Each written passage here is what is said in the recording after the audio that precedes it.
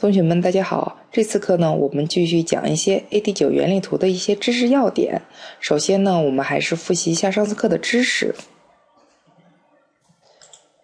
上次课呢，我们讲了层次原理图的概念及实现。层次原理图的概念就是将一个复杂的电路分为若干个简单的子系统。然后它的设计方法呢有两种，一种是自上而下的设计，就是先有框架，然后再绘制原理图。这种呢是不需要新建空白文档，直接通过原理图的标号就直接可以创建新的原理图文档。而第二种呢是自下而上的设计，是先有了原理图，然后再创建的一个层次原理图的框架。好了，关于上次课的复习我们就到这里。你对上次课还有印象吗？如果没有印象，赶快去复习一下哦。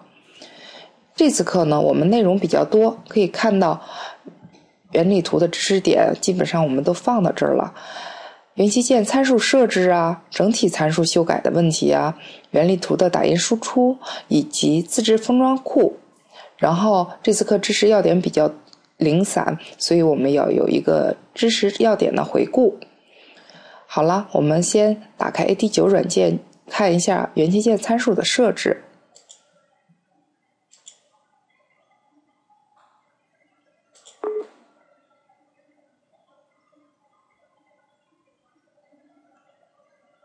其实大家也不用紧张，因为呢。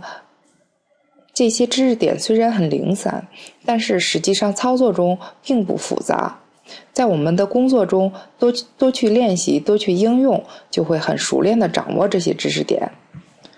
好了，参数的设计实际上是很简单的。比如我们放一个电容，这个电容是多少缪的？放个二极管，这个二极管的型号是什么？都需要放置在这个原理图中，不然我们说，哎，那个二极管是应该什么型号啊？这个二极管，我指的是哪个二极管呢？是这个呢，还是这个呢？我们都分不清楚。所以，像原理图标号啊、参数啊，我们都要写的清清楚楚。如果对于一个空白的原理图文档，我们放放置元器件以后怎么设置呢？之前我们课程中说过了，关于原理图标号的问题，我们可以在这儿进行自动标注。我们这时候。需要双击打开进行设置。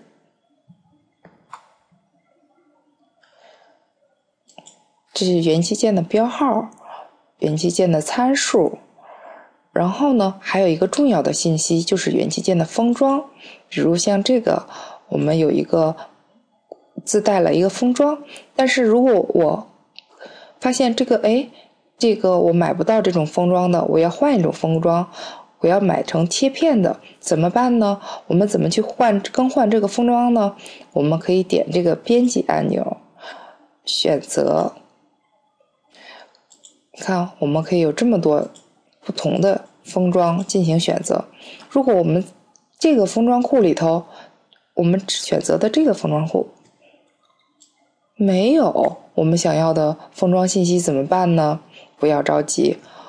我们还可以从这里去选择其他的封装库，然后 close，然后这个下载菜单里也有已经我们存好的封装库，就是在我们右侧跟我们右侧的这个 library 是同步的，我们可以在这里边进行去选择。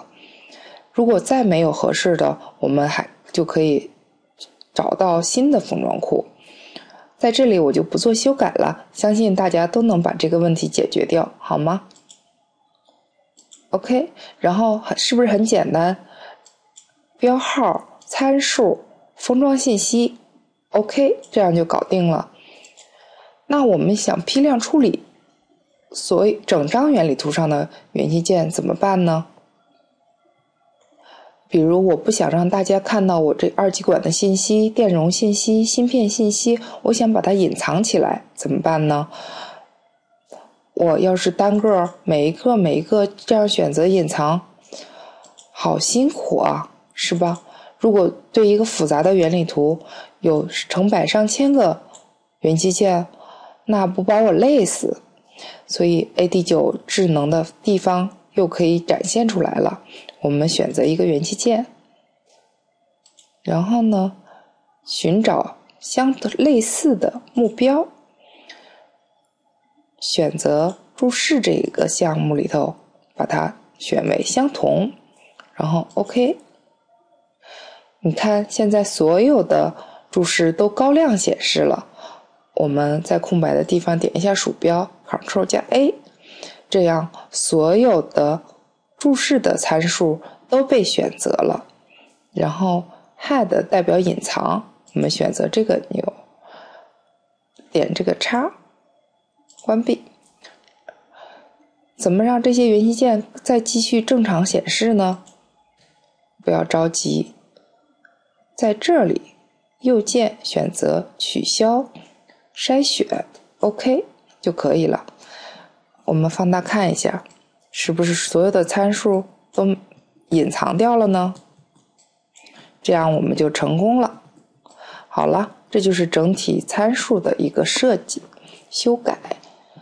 然后还有下一个问题就是原理图的打印，其实特别简单。原理图我们选择，先选择。预览一下吧，你看，OK，没有问题。然后，如果我们这有个打印机的话，直接按 Print 就可以打印了。还有一个呢，就是在这先设置一下，然后横向啊、纵向啊、纸张大小啊都可以。还有第三种，就是我们一般习惯于先把它输出 PDF。然后根据这个提示一路 next 下去，就可以输出一个 PDF 的文档。这样的话，我们把有些不想让别人看到信息隐藏以后，生成 PDF 的文档，这样别人也不会给我们影响我们整个原理图的电路。还有一个我们会用到的工工作中经常会用到的就是报表。然后在这个 report 下面有一个 bills of material，我们看一下它的现象，可以看到电容、二极管接口，然后芯片信息都反映到这上面了。我们选择 export，就可以输出成 Excel 形式的文件。还有一种很快捷的方式输出，就是 report symbol BOM 简单的 BOM，自动它就会生成一个简单的 BOM 信息。在这里还要教大家两招的是，我们如果如何快速的找到一个元器件，比如说这个 C 五。当我们不知道它在什么位置的整张图的什么位置的时候，我们怎么快速的找到它呢？有个快捷键，希望大家能记住，勾，然后 C，然后我们就会跳出来一个元器件选择的框，对话框。我们这时候选择 C，填入 C 五，OK，鼠标就在这个 C 五的位置停下来了，是不是很智能啊？还有一种方式就是在左侧的第二个浮动面板，我们可以看到所有的元器件信息按顺序都在这边显示出来了。这也是一个很快速找到我们相应元器件的方法，而且它会自动高亮显示。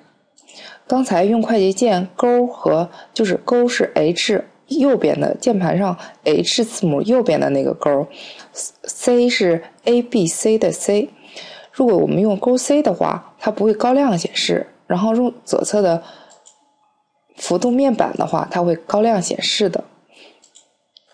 好了，原理图的这个前面几个小的知识点我们都学到了，然后我们看一下下面有个重要的知识点，就是。自制封装库了。自制封装库，我们在讲之前呢，先了解一下它的知识要点。一个是关于元器件定位原点的问题。其实自制封装库是非常简单的，但是呢，为什么会觉得有难度呢？有些同学，因为它有一些知识要点，你如果不注意不到的话，会给你造成很大的困扰。一个是元器件定位原点的问题，一定要我们画原理图封装的时候，一定要在原点周围画，千万不要偏离零点。至于为什么，如果有时间，我可以给大家演示一下。还有一个是引脚排序的问题，因为我们的原理图，你在画图的时候，你排序有问题，脚引脚排序有问题是不会有影响的。但是你在生成 PCB 的时候，如果你的 PCB 封装和引脚的脚序不对应的话，就会造成很大的问题。还有一个就是引脚方向的问题，引脚方向错误了。这个是对原理图造成致命影响的，就是你看到的连接实际上并没有连接。第四个是一个小贴士，相当于就是有时候我们会有一个字母上会有个短划线，比如说片选信号表示负的有效，就是零电低电平有效的时候，我们会一般会在 CS 上面用短划线。来标记它，那我们怎么在引脚信息的字母上实现短划线？短划线呢？一会儿我就要告诉大家怎么做。然后还有一个小贴士，就是说六十四位系统和三十二位系统可能会有不兼容的问题，所以我们在安装系统完之后，一定要记得用运行兼容模式，在兼容模式下运行，要不然有可能会造成不必要的麻烦。好了，注意事项先讲完了，我们进入自制封装库的绘制吧。我们还是以这个案例为例，我们看看，我们新建一个封装库，新建一个原理图的库文件，OK，它自动出现了一个。新的界面，在这个，在这个十字交叉点就是我们自制封装库的原点。我们去怎么去新建一个元器件呢？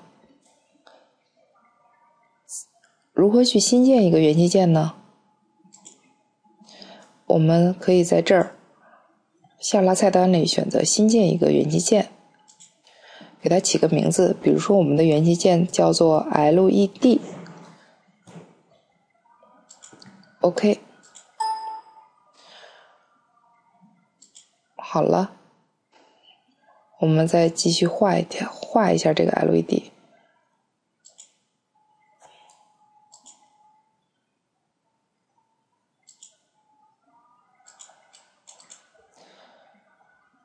画线的工具就在这里，我们想要什么形状都可以画出来。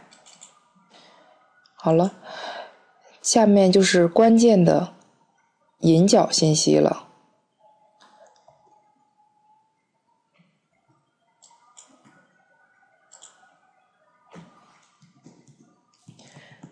我们都知道 LED 是两根脚的，所以我们一定要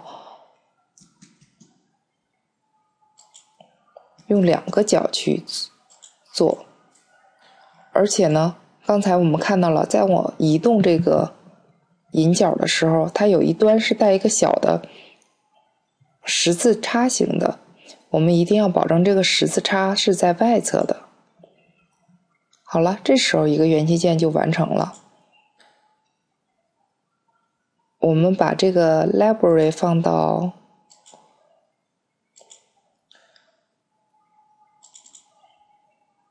这个底下，然后一会儿我们看看能不能找到它，给它起个名字叫做一二三，OK。我们再新建一个，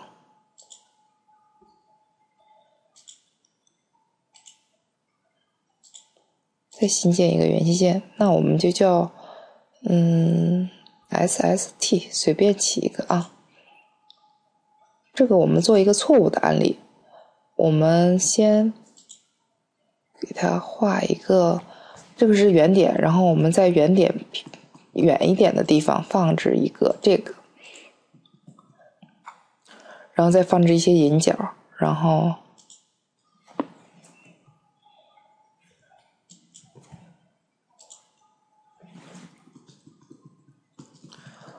我们左侧的故意放反吧。右侧的我们放成正确的。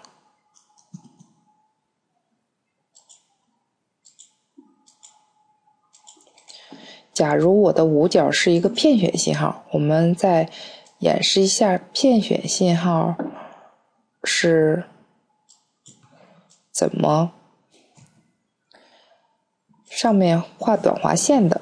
其实就是这样一个斜杠，在字母的后面加一个反斜杠，反斜杠在回车键的上面一般，这样就。实现片选的负低电平有效。好嘞，OK，我们看一下这个效果。我们在原理图这边找一下这个库文件，看看是否能找到。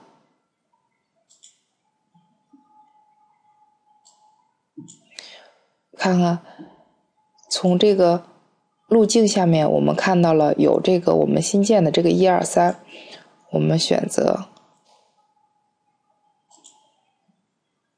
我看一下是不是存在了啊？嗯，存在了。然后有两个画好的器件，我们把 LED 拽出来看一下有没有问题。OK，连线是没有问题的，是吧？这边连线呢也没有问题。我为了表示它的连接，我再画一条线，这样也能形成一个节点，就说明这条线是没有问题的。我们画的这个封装是没有问题的。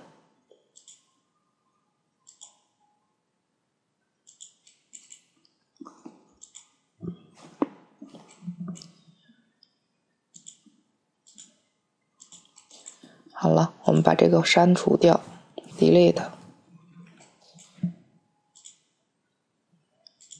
然后我们验证一下，我们这个画的有没有问题？哎，它为什么跟我的鼠标保持一段距离呢？我的鼠标的位置，大家猜是什么位置呢？对了，就是刚才我们画原理图的原点。如果我的原点，如果这个元器件画的离原点再远一点的话，就我的鼠标拖动的时候，就是我的鼠标在这个位置。我的鼠标在这个位置的时候，有可能看不见这个元件。我们试一下再。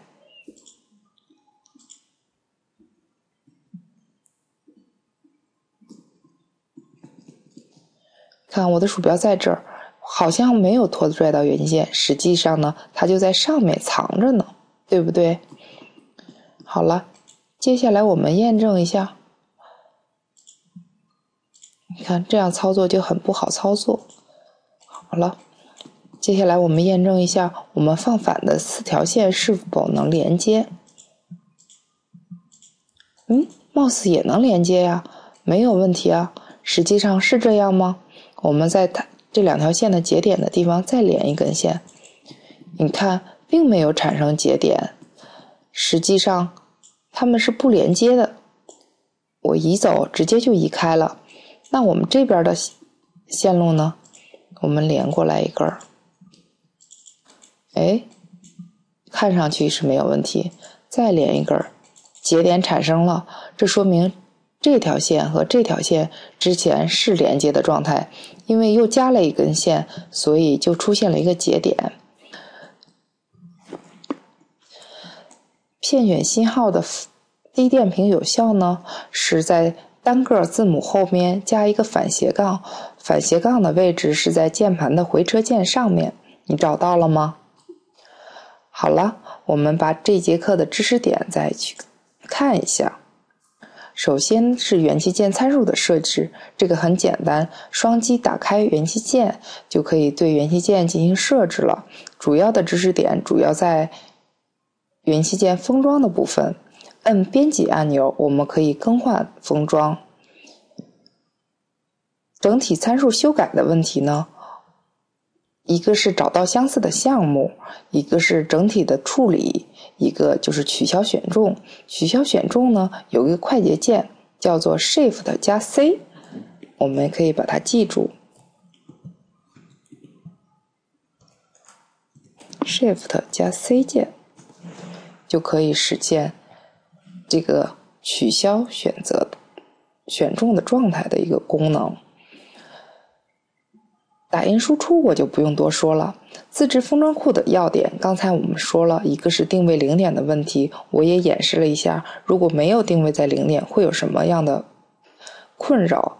还有一个就是引脚排序的问题，引脚排序一定要跟封装库建立好联系。这个呢，我们在 PCB 设计的时候还会再次强调。还有一个就是引脚方向的问题，一定要让有十字小叉叉的。方向在外侧，与线路相连。然后引脚上的字母上的短划线呢，就是低电平有效的标识怎么实现呢？就是在单个字母的后面加一个反斜杠就可以了。还有我们要注意的就是，我们安装的软件一定要运行在兼容模式下，否则可能会产生不必要的问题。好了，今天的课就到这里，希望大家有时间再去练习一下，好吗？